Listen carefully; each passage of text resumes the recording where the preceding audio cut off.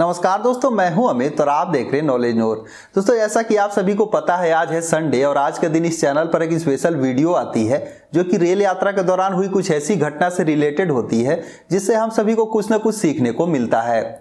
दोस्तों, आज की जो घटना है, मेरे एक सब्सक्राइबर अरविंद कुमार, जो कि यूपी के भटनी के रहने वाले हैं, इन्होंने शेयर करी है। ये स्टोरी मुझे इतनी पसंद आई कि अगर आप इसे अंत तक देखेंगे तो आप भी इमोशनल हो जाएँगे। दोस्तों, ये जो घटना है दिसंबर 2018 की है और ये जो अरविंद कुमार हैं यह केमिस्ट्री के टीचर हैं, साथ ही साथ ये कोचिंग इंस्टीट्यूट भी चलाते हैं। दोस्तों, जो कोचिंग इंस्टीट्यूट था, उसमें कुछ बच्चे जो है, अपने टीचर यानी कि अरविंद कुमार का बर्थडे सेलिब्रेट करने के लिए वाराणसी जाने का प्लानिंग किया। वाराणसी जाकर वहाँ पर घूमते फिरते और अपने टीचर का बर्थडे सेलिब्रेट करते। 18 दिसंबर 2018 को सभी बच्चे वाराणसी जाने के क्रम में अपने टीचर से बताए कि, सर, आप मेरे साथ चलिए। वहाँ पर चलकर हम लोग वाराणसी घूमेंगे, साथ ही साथ आपका बर्थडे सेलिब्रेट करेंगे। इसके लिए सर ने अपने बच्चों के साथ सारी चीज़ें डिस्कस करी और उसके बाद भटनी रेलवे स्टेशन से एक मेमू ट्रेन जाती है। उसी से जाने का सभी लोगों ने प्लानिंग किया। सर जो है टाइमिंग वगैरह देखने के बाद बच्चों को बताए कि सभी को साढ़े चार बजे तक रेलवे स्टेशन पर पहुँच जाना है, क्योंकि वहाँ से जो मेमू ट्रेन थी वह पाँच बजे खुलती है। सर के कहे अनुसार सभी बच्चे साढ़े चार बजे तक ये भटनी रेलवे स्टेशन पर पहुँच जाते हैं।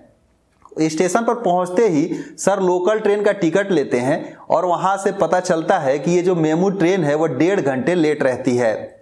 तो करीब सात बजे वह ट्रेन आती है और सभी बच्चे खुशी खुशी ट्रेन में बैठ जाते हैं। दोस्तों, ट्रेन वहाँ से चलना शुरू करती है और चलते चलते सलेमपुर रेलवे स्टेशन पर पहुँचती है।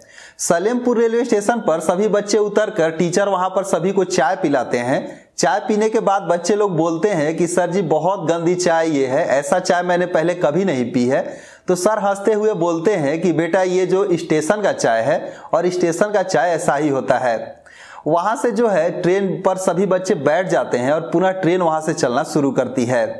ट्रेन आगे बढ़ते बढ़ते अगला रेलवे स्टेशन आता है लार रोड।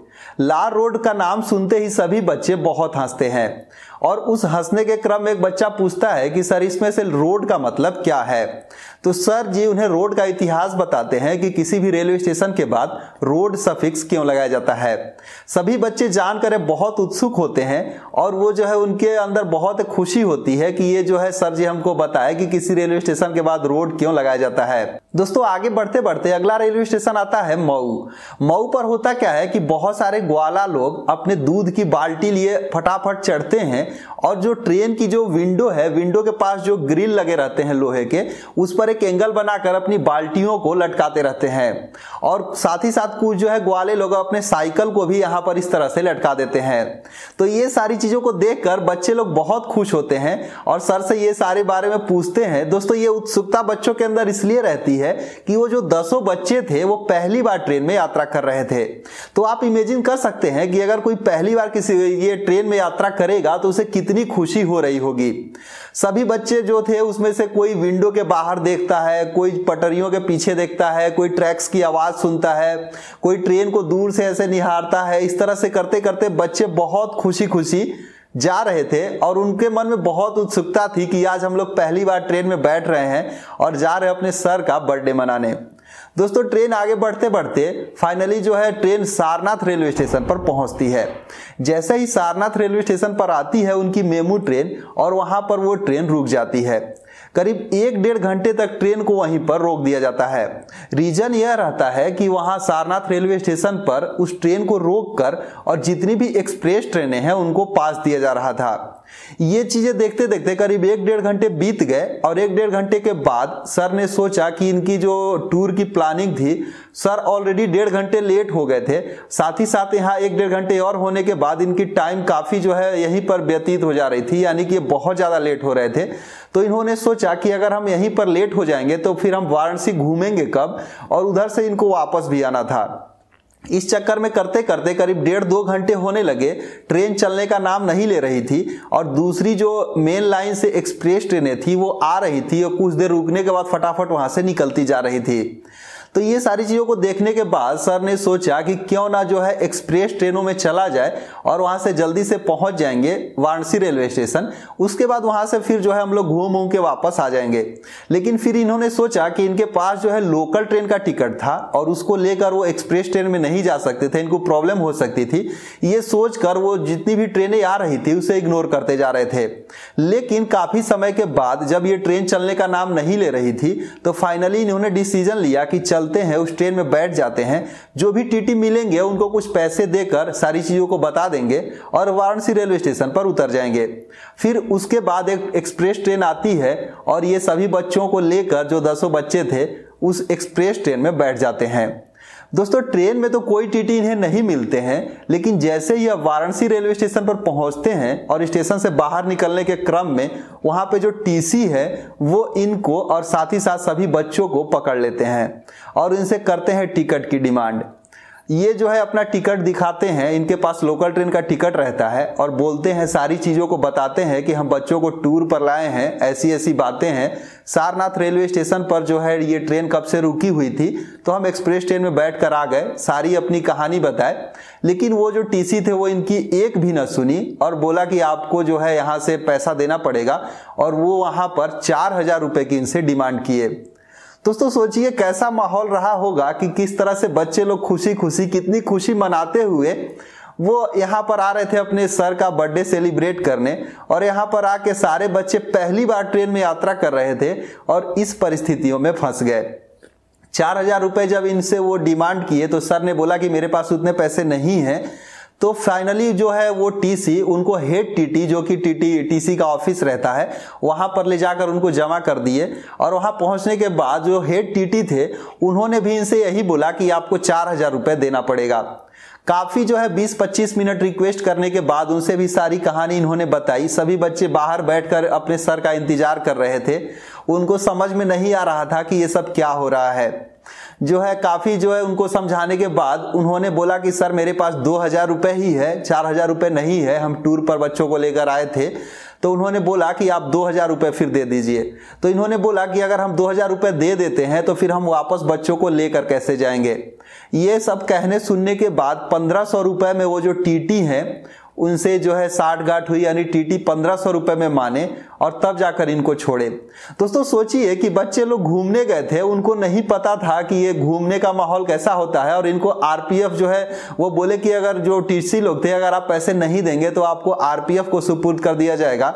यानी आप जेल में जाएँगे तो कैसा माहौल रहा होगा कि ये लोग गए थे घूमने और लास्ट में उनको जेल में जाने की नौबत आने लगी।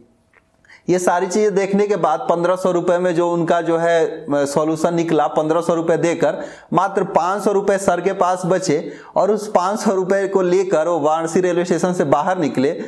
इन्होंने बोला है कि घूमने का जितना भी मज़ा था, बिल्कुल किरकिरा हो गया, क्योंकि इनके पास तो पैसे ही नहीं बचे। बच्चों के पास जो भी सौ पचास रुपए होंगे, बस इसी में घूमने को, बच्चों लोगों को मौका मिला। दोस्तों, यहाँ पर मुझे एक चीज़ें बहुत बुरी लगी कि ये टीटी लोग के अंदर थोड़ी सी इंसानियत होनी चाहिए, सारी चीज़ें जानने के बाद कम से कम कुछ पैसे लेकर सारी चीज़ों को यहाँ पर उनको इंसानियत ज़रूर दिखानी चाहिए थी कि छोड़ देते। इन्होंने कोई गुनाह तो नहीं किया था, बच्चे थे, घूमने जा रहे थे, सारी चीज़ें उनके साथ परिस्थितियाँ थी, लेकिन यहाँ पर टीटी लोग नहीं माने और उनसे पैसे ले लिए। लास्ट में फाइनली जो है एक दो घंटे घूमने के बाद, बस जैसे तैसे इन्होंने घूमा और शाम को जो है अपनी ट्रेन पकड़कर सुबह पाँच बजे अपने घर को वापस आ गए। दोस्तों, इन्होंने लिखा है कि, सर, आप ये बताइए कि क्या इसमें मेरी कोई गलती थी? या फिर अगर मेरी गलती थी तो मुझे यहाँ पर क्या करना चाहिए था ताकि मैं इन फ्यूचर अगर यात्रा करूँ तो इन सभी चीज़ों से सतर्क रहूँ? तो दोस्तों, मुझे लगा कि आप लोगों के साथ ये कहानी बताकर इसकी जो यहाँ पर चीज़ें हैं, क्या होनी चाहिए, आप लोगों को ज़रूर बताया जाए ताकि आप अगर यात्रा करें तो आप भी इन सभी चीज़ों से सतर्क रहें। दोस्तों, अगर आप देखें कि रेलवे के नियम के मुताबिक अगर आप जाएँगे तो आपकी यहाँ पर गलती थी क्योंकि आपने लोकल ट्रेन का टिकट लेकर एक्सप्रेस ट्रेन में ट्रैवल किया तो यहाँ पर आपको पेनाल्टी ज़रूर लगेगी। लेकिन आप अगर, देखिए यहाँ पर पेनाल्टी तो लगने वाली थी जो कि इनकी लग गई, लेकिन अगर आपसे पूछा जाए, आप हमसे पूछेंगे कि यहाँ पर सॉल्यूशन क्या होना चाहिए था तो जब कभी भी आप यात्रा करें और ऐसी परिस्थिति हो, आपको लगता है कि आप कहीं भी लोकल ट्रेन से जा रहे हैं, बीच में वो ट्रेन लेट हो सकती है और आपको एक्सप्रेस ट्रेन से जाना पड़ जाए या फिर सुपरफास्ट से जाना पड़ जाए तो आप अपने सोर्स डेस्ट जो है स्टेशन से ही सुपर फास्ट ट्रेन का टिकट लेकर निकलिए, क्योंकि एक जो पैसेंजर ट्रेन है उससे जस्ट दुगना, यानी कि बहुत कम ही पैसे समझिए, जिस तरह से पेनाल्टी ली गई उससे तो कम ही पैसे में आप एक्सप्रेस ट्रेन की कोई भी एक्सप्रेस ट्रेन आती, आप उसमें बैठ कर जा सकते थे। तो आप कभी भी यात्रा करें तो अगर इस तरह का जो है आपका पार्ट बाई पार्ट यात्रा हो, आपको ट्रेन वगैरह छोड़ना पड़ रहा हो तो कोशिश यही कीजिए कि आप जो है सुपर फास्ट ट्रेन का टिकट ले लीजिए, क्योंकि एक्सप्रेस ट्रेन से पंद्रह रुपए ज़्यादा ही सुपर फास्ट का लगता है। और अगर सुपर फास्ट का नहीं लेते हैं तो कम से कम एक्सप्रेस ट्रेन का टिकट ज़रूर लीजिए, ताकि आप कोई भी ट्रेन को बदलें तो आपको कोई यहाँ पर दिक्कत ना हो। क्योंकि अगर आप देखेंगे तो भटनी से वाराणसी का जो जनरल का किराया है, वो पैंसठ रुपए है, और एक्सप्रेस ट्रेन का किराया एक सौ है।